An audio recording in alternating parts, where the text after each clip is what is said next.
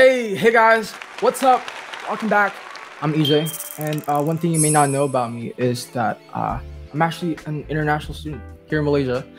Uh, I'm a proud Filipino. Uh, grew up there for almost half my life, and uh, when we first moved to Malaysia for the first time, uh, it was such a different experience. And the, the the most ironic part is I, I kind of sort of look Malay. I lived here for years, and people would still come up to me and, and um and start conversations with like Malay, and I don't know. I never like knew how to properly address that. I don't know, it's still awkward, but you know, I try to um, learn the language, try to learn everything. Uh, I love the food and I love the people. Um, with that said, on that note, let's have over our guests, Cray and Natsuki, um, a Malaysian and international student, to come over uh, and talk uh, about our cultures. Hey, hi, what's up, guys? Hi. Hello. Hi. Hi. All right, we have Cray and uh, Natsuki. Hello. Um, so we have two teams. We have Malaysia and international. Which one is which? Malaysia representative here, Chris speaking. I'm from Japan. Oh, whoa. It's my third year here. Um, did you come here for education? Did you come here? I mean, yeah. I'm a Taylorian. Proud to learn at that. Proud to learn. We're all here. Are you going back to uh, to Japan after? After this, I have no plan actually. Maybe I will stay here. Maybe I will go to a different country. I don't know. We'll, we'll cross the bridge when we get there. Okay. Wing it. Okay, how about you, Cray? What's your plans? Are you gonna move to Japan? You guys switch places? To be really honest, I've been to Japan um, in the past two years like, ago, I guess, before the pandemic hits. I've been to Kyoto and Osaka, and it was really a great place. I, I- I find it very fun when it's actually opposite from Tokyo and Kyoto. It's like, Yeah. oh, you can just switch Yeah, around. I just realized you went to Tokyo, Kyoto. Tokyo is Tokyo in Japan, in Japanese. Oh, And oh. Kyoto is just Kyoto. Oh, okay. Ooh. Yeah, you learn new things every day. That's so interesting. Um, you lived here for like two years. So, um, have you tried Malaysian food? How was it? What do you think? What do you think? What have you tried? I've tried a lot. Um, I've tried nasi lemak, Okay. um, Great. char kway teow, Char kway teow. Hey, Yes. char kway teow. Oh, and um, go. mee goreng. Ooh. Let me Oh, go. And my favorite, my favorite was um, mee raja. Miraja is another type of uh, mee. Uh, it, it's actually quite famous in Penang. I'm actually from Penang as well, so yeah, it's a type of Malaysian cuisines. Yeah, but like, I mean, kale's fine too, I guess. I'm sorry, you Are are not gonna- comparing food with We're gonna- okay, Penang. cut, Uh, Natsuki, like, what is if someone were to ask you what would be the absolute best Japanese cuisine? Uh, what would it be? I would recommend onigiri with just with a salt with salt. Onigiri Onigiri. because Japanese rice is very very nice. The rice is completely different from like basmati rice and like sticky rice in Malaysia. If it's your first time, then you should try like and like the plain rice with a little bit of salt and sweet. That's just it. Yeah, you can enjoy the taste of the rice, the Japanese rice. I know a little bit of Malaysian, bahasa Melayu. No way. She knows. Shoot us some. What do you know? No, just a little bit. Me too. me too. A little bit. Sikit saja. Eh, I thought Sikit, sikit. Philippines. Do you guys speak Malay? No, right? It's No. Filipino, right? It's not like it's different. It's similar words, but they're still different. We have common words. We have like similar words. Like tulong is help, tolong is help. You know, Ah, yeah, yeah, yeah. It sounds quite alike. different. So when like transitioning here, it was not so like hard. Um, you just had to like learn more and stuff. But anyways, Natsuki, what what else? Like show off your Malay skills. Oh, jom lepak. Jom lepak. this is a good one. Jom lepak. I bet, yeah. This is the under friends influence where the friends will always say like "Jom lepak," like "Let's go." Hey, on, on. Alright. Um, speaking of that, all right. Next up, um, people. What are the differences in people? um, in Japan and in Malaysia? Would you notice? I think Malaysians are more friendly. Like I- Japanese are sh- more shy, I think. Like when I first came to Malaysia, I was kind of surprised. Many people came and talked to me, like strangers. So, like, I felt, oh, they are very, very friendly. In Japan, if you see strangers, they don't talk to them. They're just I felt different though when I went there, like uh, just for a quick holiday.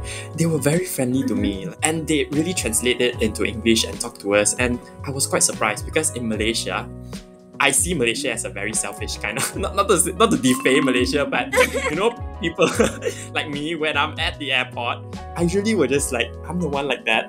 I would just. mm, Nah, but they approach me, so yeah, that's a different perspective from from my end. That's why. Oh, I think being foreigner, like between Give being extra foreigner and being local is kind of different. You know, like you're local in Malaysia, right? So maybe Yeah. like Yeah. No one cares. yeah. no one cares. I mean, I'm just being real. But like, it's an overgeneralization. But like, I think I, I think that's um just how people are. Let, us talk about weather. Um, obviously, it's very different from uh, Malaysia and uh, and Japan. How'd you find that? Japan has four seasons. During summer, actually, Japan gets really, really, really hot. Like sometimes it's even hotter than Malaysia. I didn't know that. So, like Malaysia is always hot, right? It's completely fine to me, but sometimes I miss like the autumn feeling, like spring feeling. And yeah, I like the weather in Malaysia. I, yeah. Natsuki, do you know that Malaysia also have four seasons? I, I bet EJ doesn't know as well. you kind of see where this is going. Okay, I'll let. Four I'll- seasons, four seasons, okay, ah? So, the four seasons we have is hot, okay? Very hot, extremely hot, and also the last one will be r- rain for 10 minutes, it's hot again. That's the four seasons we have in Malaysia. Wait, the, the, the fourth one is the worst one.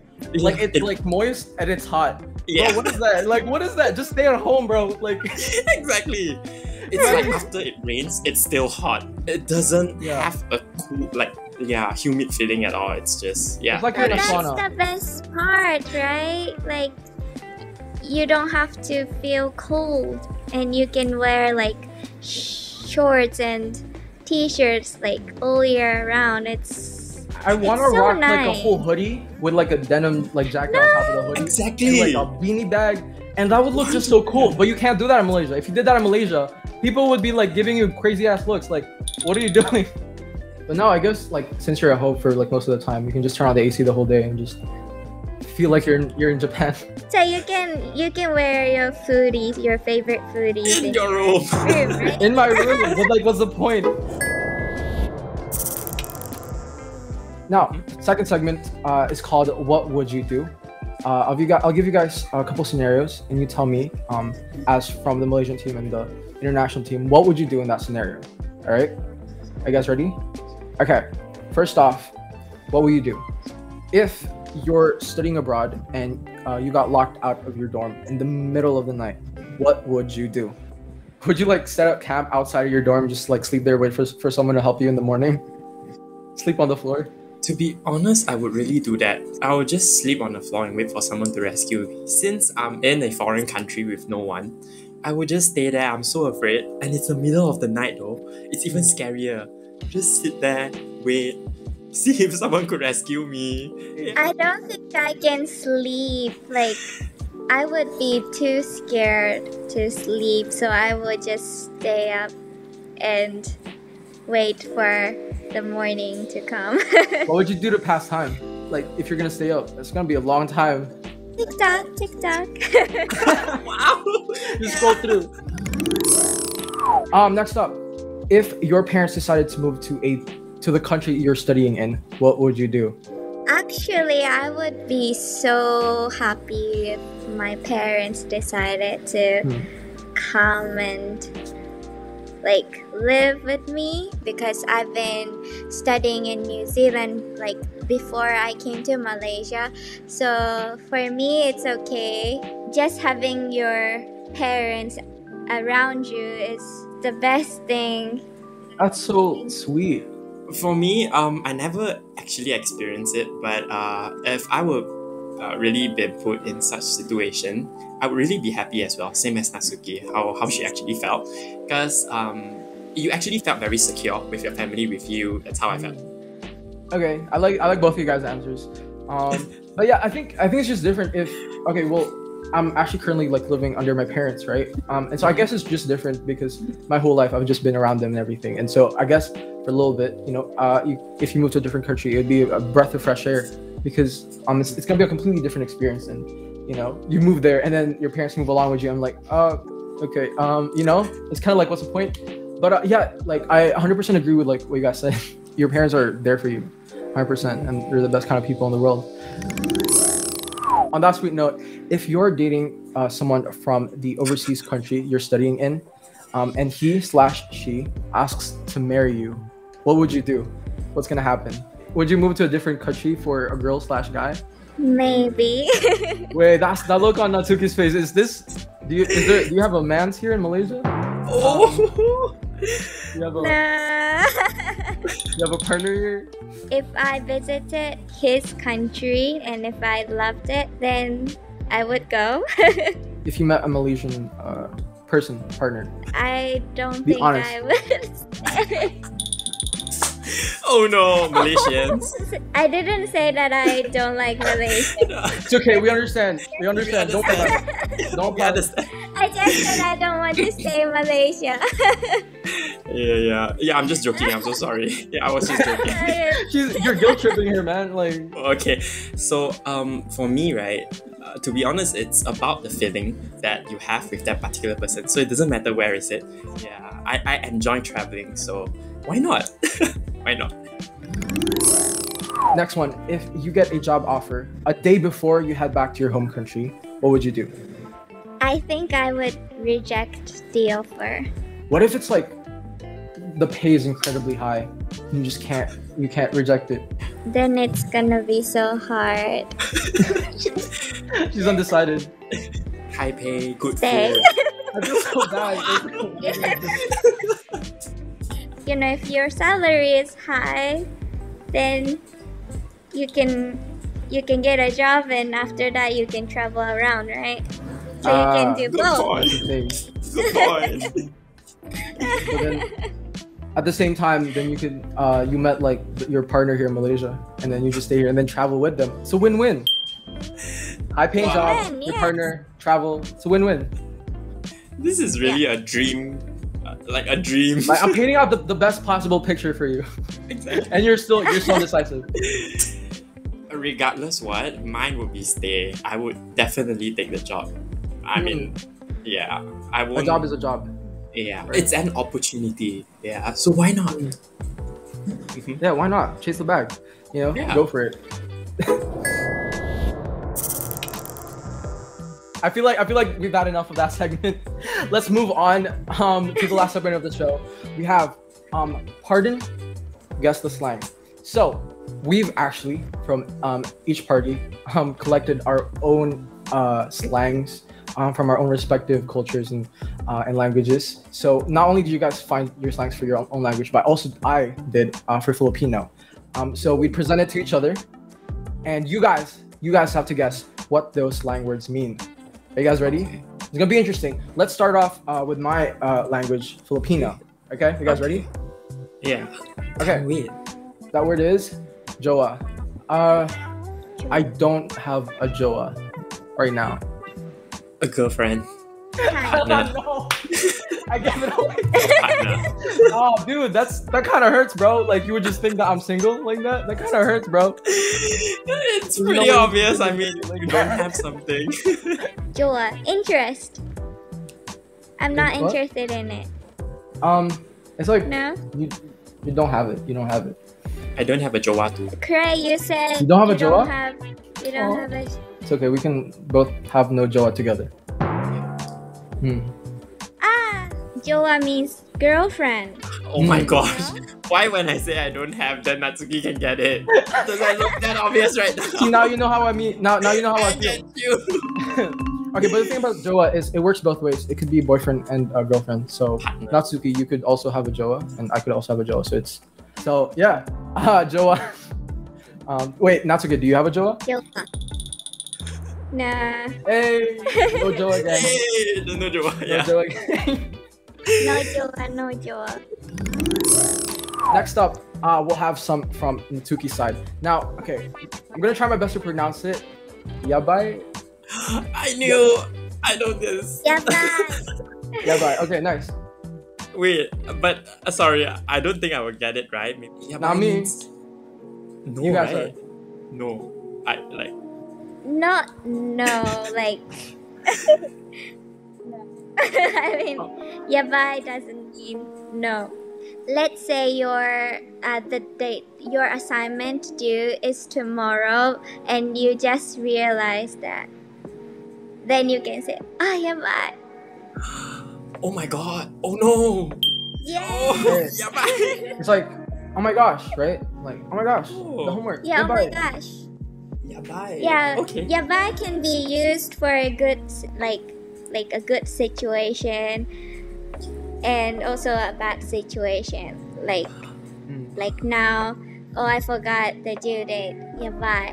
But you know like if you if you eat something very very delicious, then you can say yabai. Mm. Oishi. Okay, next up, Malaysian. Kautim. Totem. Totem. Got him. Nothing to do with animals. No counts involved. No counts. okay. Got him. Totem. I'm ready. Uh, no, it's not ready. So you and your friends are doing group assignment together. So out of sudden, your friends say that, Oh. yes, count him already. Count him already. Finish already. Yes, I'm Hey, done. We're done. For done. Kautim. Done. Okay. Filipino, chica chica. Chica chica. Chica chika. Oh, actually, Japanese has same word. Like, chica chika means like twinkle. Oh. Okay, it's not that Twinkle. at all. It's very far from. Chika chika. Hurry up. Um, let's go have tea in chica chica. Let's go have um a drink in chica chica. By the beach. Lepak. Uh, kind of like Lepak, kind of like Lepak, but not not hundred percent like Lepak. Let's go hang out. It's hanging out, but it's more than that. Let's go eating. Uh, Are you let's go shopping. You can chika chika anywhere. Okay, okay. I'll tell you this one thing, and I'm pretty sure it'll just re- it'll help you out a lot. It's like a thing like a lot of aunties do, you know. Go sit. Gossip, yeah. Go sit. Yeah. Chika Gossip. chika. hmm This one. Bojo. Bojo. Bonjour. Bonjour. No, it's not Bonjour. bonjour. It's something that it's very sarcastic when you say it out. Is it kind of like da? No? Da. No. No. Nah. Wow. Uh, no. Wow. Imagine um your friends they went to somewhere that uh, they went to the movies and they came back. You are not there, okay? And you you went up to them. You you just went up to them and said that, "Hey, bochio ah." That's it. Oh, you left me. Uh, it's somewhere No. there, but it's a question. So it's like, uh, why you didn't invite me? So yeah, the answer is actually, why didn't Why you didn't invite you me? invite me? Yeah. Oh, Bochio. Is that. Wow, it's so long. Just one word and. Yeah, it, Oh, it, it really. it's definitely like. My friends always like said Bojo to me, but I couldn't Whoa. understand what. I thought it was. Yabai, like yabai. something like, wow. Yeah, bye, bye. wow. Okay, this one's kind of funny because it's three What? letters. is this? Natsuki, is it more like you use it in text? It's. It, yeah, it's for texting. Ah. I think it means ha ha ha. Like you are laughing. It's very funny. Yeah. Yes! yes! Is it three or can you like spam it? W- www like straight. There's no like proper pronunciation for it. In Japanese, to laugh is walau. So Walau. wa lau. We delete all the all the like letters and just leave W and www is Oh. walau walau. Yes, we have Look counted. out them, guys. That was incredibly yabai. Um, that was so yeah. Bye. Okay, uh, we learned so much about each other, um, so much about our culture and everything. It's crazy. Um, with that said, uh, I hope everyone here learned a little bit about everyone's culture here uh, from the Jap- from uh, international students everywhere watching this. Thank you for tuning in. Um, make sure to leave a like and comment what country you're from if you're an international student. Leave it down below and stay tuned for the next episode of the Taylor's Talk Show. Bye, guys. Thank you. See you. Bye.